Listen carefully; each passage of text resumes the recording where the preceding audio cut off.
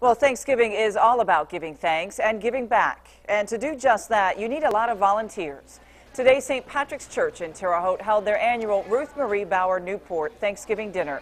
It's a tradition for many folks in the area that's bringing families and a community closer. It's something that we've done ever since I was a little girl, and it is just a tradition that we continue um, to do. And now we bring our own kids to do it. It's just something that we've always done, and it's a way for us to give back to the community. Volunteers at St. Patrick's Church served nearly 900 people today.